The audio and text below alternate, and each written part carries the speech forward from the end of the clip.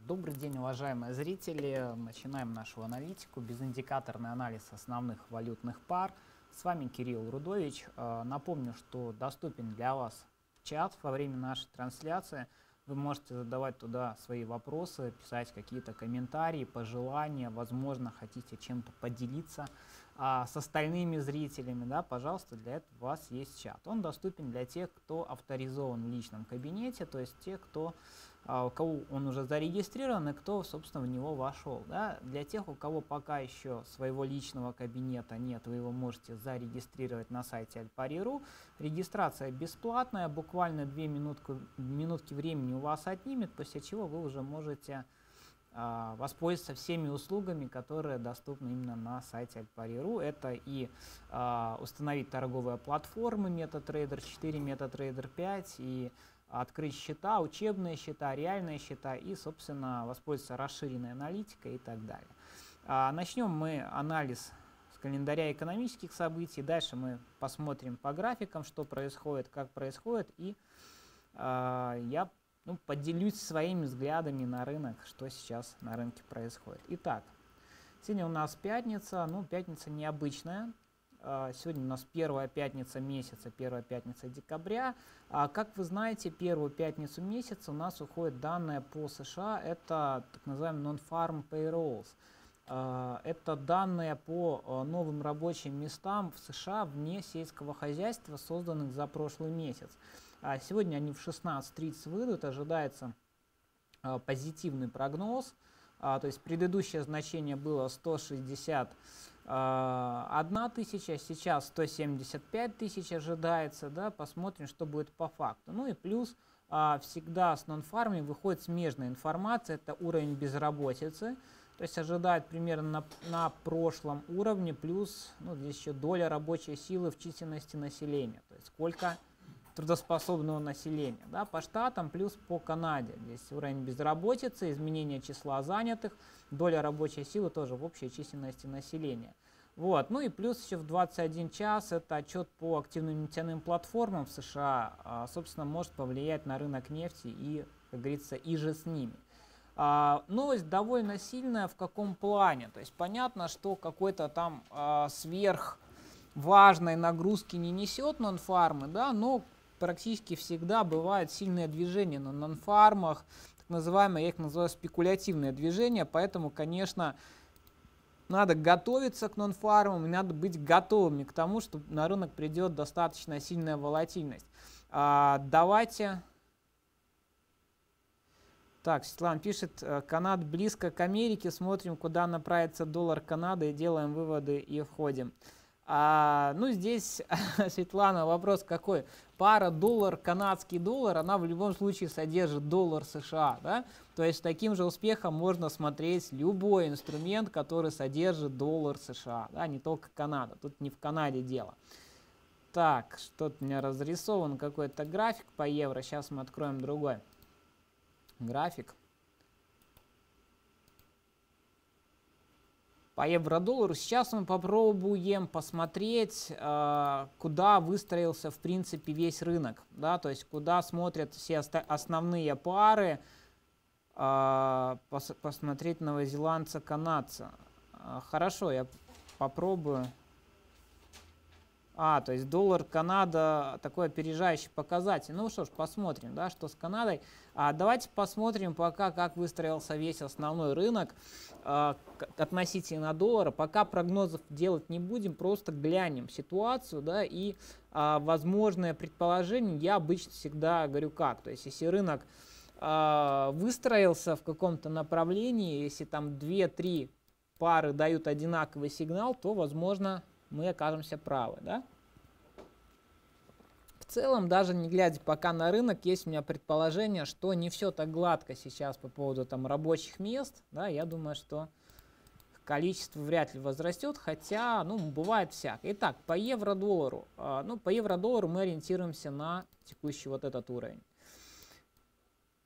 Так, сейчас мы подкорректируем немножко. Цена тут, можно сказать, у уровня торгуется, пробить пока не получается. Да, в целом я, ну, есть предположение, что А если уровень будет пробит, то евро-доллар развернется и пойдет наверх. Э, ну, как говорится, пора бы уже, да, пора бы уже и пойти, потому что если будет движение вниз, то это создаст много проблем, в том числе фундаментальных проблем, да, которых некоторые даже не подозревают. А в целом же пока, э, ну, говорить о том, что уровень пробит, не пробит, э, не стоит, да, ситуация такая спорная, размазанная. Но цена пока у уровня держится.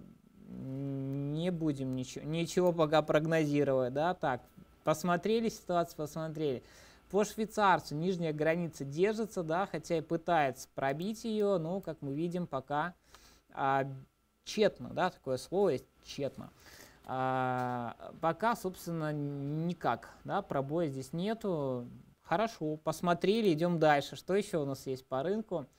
А, по фунту, фунт, обратите внимание, тоже у верхней границы а, с очень серьезными намерениями пройти эту границу, пробить а, и, возможно, собирается двигаться еще дальше, еще, еще повыше, да, но в целом же пока намерения ясны, да, но какого-то сигнала нет. То есть верхняя граница это пока еще, конечно, ни о чем не говорит, но уже заставляет задуматься. По иене, э, по японской иене важный момент э, какой, да, то есть, смотрите, мы уже по иене пока вверх не идем, не растем, что называется, да. Я думаю, что по иене мы можем э, снижаться, то есть, ну, есть вероятность пока снизится, вот, пока, ну, это среднесрочно, да, то есть, поэтому пока наблюдаем и смотрим, возможно, возможно, по иене будет снижение, да.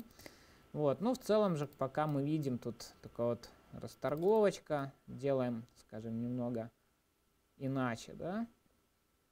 Вот он, собственно, уровень, и э, внимание, как э, этот уровень откупают снизу, да, не дают уйти. Ну, не дают, не дают, хорошо. Так, дальше, австралийский доллар. Может, он какую подсказку даст. Ага, тот, тот еще подсказчик, да, как говорят. Вот, так что по австралийцу пока э, глухо. Пока глухо. Скорее, тут даже лучше его не смотреть пока, чтобы не было каких-то лишних идей. А, по новозеландцу похоже. Картинка за, залипли. Залипли, хотя, возможно, поход будет вверх. Возможно. То есть есть уже здесь подсказочки по новозеландцу. Я думаю, что кстати, вот по новозеландцу как раз-таки можно э, будет нам зайти скорее по дневке, да, попробовать э, зайти э, по сигналу именно по дневному таймфрейму. Потому что картинка здесь, в принципе, интересная. Уйти вниз не ушли, собственно, ладно. А, так, новозеландец нам подсказывает движение наверх, да, собственно, может, может состояться. А, окей, мы можем, в принципе, а, разместиться здесь. Так. Я пока а, минимальным объемом разместимся, отложку. Ну, отложку бросаем. Наш buy стоп. Если касаемо стопа, ну, по дневке понятно, большой оба. Три шестерки, да? Какой стоп? Так, 0,70, 40. Давайте пока, по, возможно, по новозеландцу что-то получится. А, так, 0,70, 40. По целям это где-то 0,73 надо ставить. 0,73. Условно говоря, то есть цель у нас такая, стоп у нас такой. Ну, 1 к 3 примерно соотношение. Вот, но если что-то не получится, да, то особо расстраиваться не будем. А, по нефти, ну, нефть конечно, такой индикатор тот еще, да, поэтому мы ее, пожалуй, оставим. А теперь канадский доллар, как нам Светлана советовала, да, то есть смотрите Канаду, она, собственно, все подскажет, а, все расскажет. Ну, Канада вообще-то собралась пока укрепляться, но а, для тех, кто о, по поводу Канады как, как такого этакого индикатора, вот, заговорился, господи, а, по Канаде тоже свои данные выходят еще, об этом не стоит забывать. И ну, да, статистика, макростатистика по Канаде, она тоже влияет и на канадский доллар в том числе, не только доллар США влияет. Вот, поэтому здесь э, ну, картинка такова. Хотя, ну, возможно, возможно, по канадцу мы, собственно, и провалимся вниз. по крайней мере, ну, пока на уровне, видите, расторговка, собственно, и уровень не пробит еще, да, но и э, наверх тоже пока каких-то сигналов нет. Ладно, по канадцу пока такая история, хорошо, допустим. Дальше, доллар, рубль э, тоже в качестве советчика не самый лучший вариант, да. Ну, напомню, что сегодня по рублю какие-то прогнозы делать э, ну, совсем уж грешно, потому что эти нон-фармы, они, э, рубль так сложный инструмент, плюс нон-фармы, конечно, могут что-то нам и э, насолить. Так, золото, золотишко. По золоту я тут обозначал аптренды, а аптрендов все нет и нет, да, может даже сегодня что-то и появится, хотя какого-то сильного уровня под ногами нет, так что по золоту пока ничего.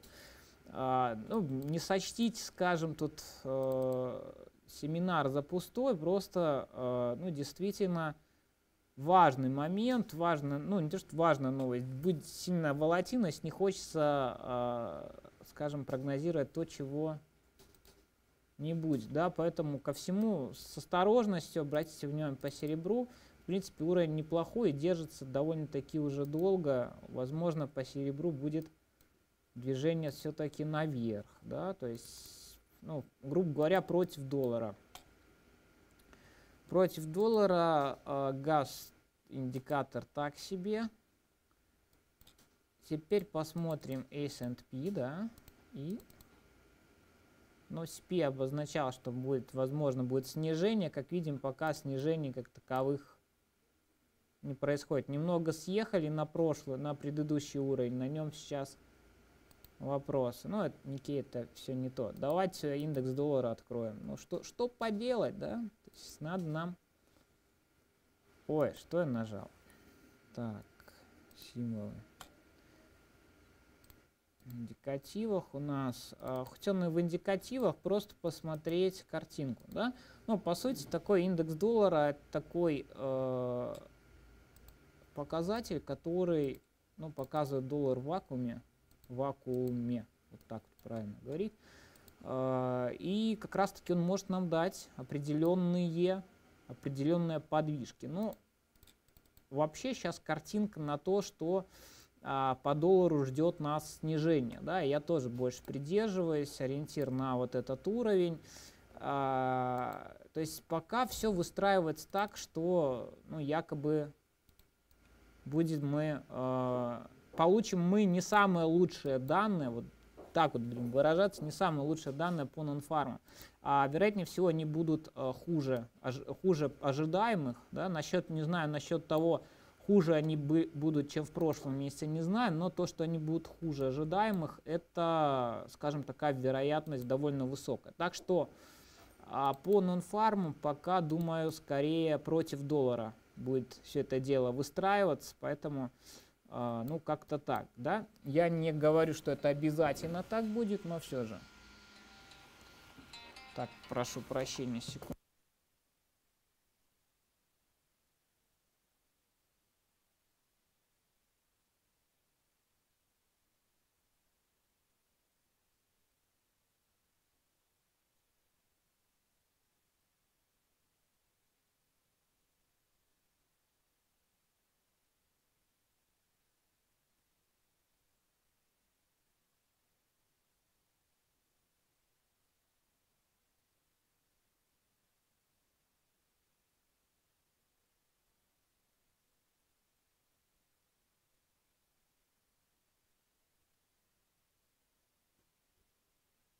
Так, продолжаем маленько. Пауза здесь была так, что пока по нонфармам устраивается именно такая картинка, что будут они хуже ожидаемо. Давайте пока по прогнозам пороемся. Э, 161 в прошлом, 175 ожидается. В общем, э, есть такая вероятность, что по нонфармам мы попадем э, в интервал между 161 и 175. Каких-нибудь 167 выйдет, да, и э, реакция опять будет э, ну, не самая лучшая, можно даже так, таким образом сказать. Так что э, готовьтесь, да, готовьтесь к, э, к моменту этому, э, к нонфарам, напомню, в 16.30. Ну а вообще самый лучший вариант э, это ну, не иметь позиций на момент выхода новостей, не иметь позиций на момент выхода нонфармов. Это, пожалуй, ну, наиболее такое действенное средство для того, чтобы ваш депозит сохранить. Так что э, по евробаксу мы плани... я планирую, по крайней мере, не мы, а я, да, а планирую, что будет движение все-таки наверх, э, выйдем где-то в район 1.07, 1.0750. Э, говорят, что сейчас более значимый показатель средняя заработная плата. А, ну нет, я бы не сказал. На самом деле сейчас пока а, ну, сложно сказать, что является таким мей мейнстримом, как называется. Да? А, та же средняя заработная плата, а, ну, я не думаю, что важно показатель, потому что какой-то реакции сильной на нее не было. Да? И опять же, а, загвоздка фундаментального анализа в чем? Мы точно не знаем, какой фактор да, дал такой драйв Э, на какой фактор была именно такая реакция рынка. Вот, или на среднюю зарплату, или на нон-фармы, или еще на что-то, но могу а, предположить, что а, реакция идет, скорее всего, на а, нон-фармы, нежели на среднюю зарплату. Почему? Потому что а, рынок всегда реагирует а, в лавинообразно именно на а, новость, там, на событие, о котором все знают. Да? То есть процентов, наверное, 80 трейдеров, которые торгуют на рынке а, ну, непрофессионально, а, даже не подраз... даже не подозревают, что есть такой показатель, как средняя зарплата, заработная плата почасовая, а, на что она влияет, как рассчитывается, и а, там тоже есть свой механизм, да, то есть все, зато все знают, что есть вот такой показатель non-farm, потому что а, куда бы человек там не пришел на рынок, да, ему сразу начинают рассказывать, есть non-farm, non-farm это отличный повод заработать там тысячу процентов за полчаса там и так далее, и люди а, молотят рыночными ордерами по этим нон-фармам, да, поэтому, собственно, и рынки так а, летают, да, вот, э, ну, поэтому, скорее всего, именно нон-фармы пока держат э, марку, да, хотя э, в последнее время такой сильной реакции уже не вызывает, да, ну, раньше, допустим, стабильно 150-200 пунктов по евро-доллару пролетало, сейчас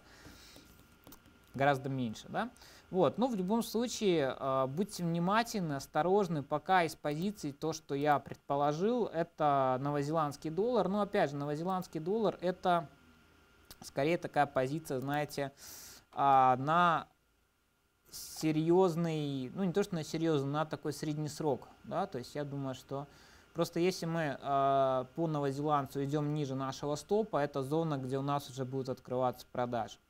Вот, это что касаемо основной идеи, плюс просили по паре, по какой паре э, просили, новозеландец-канадец. Ну, это, если э, Алексей, именно новозеландский доллар, канадский доллар или по новозеландцу и по канадцу? Ну, если новозеландский доллар, канадский, давайте посмотрим. А, мне даже самому интересно, а, что там у нас по новозеландский доллар, канадский доллар.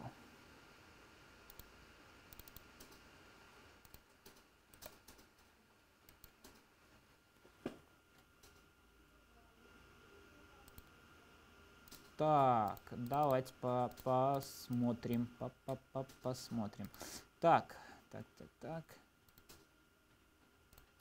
Не обещаю, что мы тут сможем что-то высмотреть.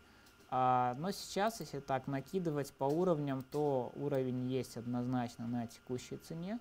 Но даже, даже не то, что на текущей, я бы его вот все-таки вот так выделил. Уровень, а, куда мы упираемся, то есть однозначно сказать, что мы тут пойдем пока, пока сложно, да, то есть ситуация, скажем, не самая понятная, вот, э, вариантов из вариантов, ну, я бы все-таки придерживался ну, похода наверх, да, ну, почему? Потому что, ну, снизу довольно-таки ощутимая поддержка формируется. Мы можем кольнуть, конечно, но вероятнее всего пойдем наверх. По крайней мере, пока такие предположения. Да? То есть это на уровне предположений, но для того, чтобы мы пойти вверх, естественно, должен быть сигнал наверх. То есть мы должны отработать вот этот уровень. То есть ну, вариантов 2, 94, 50 э, мы покупаем, да, если 94 ниже, э, мы, собственно, продаем. Да? Сейчас, ну, пока скорее, ну, пока, скажем, такого сигнала нет, и вот в, в этом флете может быть все, что угодно, да, то есть может произойти, в принципе, все, что угодно, поэтому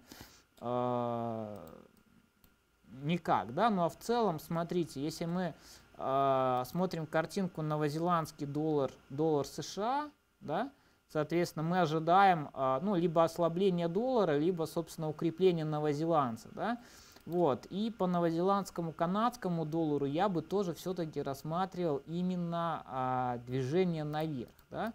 То есть именно за счет а, укрепления новозеландского доллара, а не за счет ослабления канадского. Ну, по крайней мере, такая логика. Но в целом, еще раз повторюсь, а, уровни я обозначил, где а, такие значимые, ощутимые. Ну, можно еще набросить вот этот уровень, да, который у нас тут был раньше. Но, в принципе, он э, в любом случае будет доступен только повыше. Вот, это что касаемо новозеландский доллар, канадский доллар. А насчет продаж, ну, говорю, что если мы вот этот уровень пробиваем, то видите, он раньше тоже неплохо отрабатывал, да, с него тут, а, на нем так строилась торговля хорошо. Вот если мы его пробиваем, тогда можно искать продаж. То есть не значит, что надо валить сразу продажи с него, а, а искать да, варианты, искать сигналы для входа в продажи. Но а, это при условии, если он будет пробит. Если не пробиваем, то не пробиваем. Вот, собственно, что я хотел сказать по новозеландскому доллару, канадскому доллару. Ну, в принципе, а, такой обзор на сегодня, на эту пятницу. Опять же, повторюсь, будьте внимательны на нонфармах, особенно по основным валютным парам, которые содержат доллар США. А в целом прогноз а, такой, что нонфармы будут хуже ожидаемого прогноза, да, то есть не меньше, чем 175 тысяч. По крайней мере, конечно, могу ошибаться, но предположительно, предположительно именно такой прогноз и будет. На этом же я с вами прощаюсь на сегодня, да, и на эту неделю, в принципе, подошла она к своему завершению. Жду вас уже в понедельник на а, моих семинарах. Следите за расписанием, следите, собственно, за расписанием на сайте.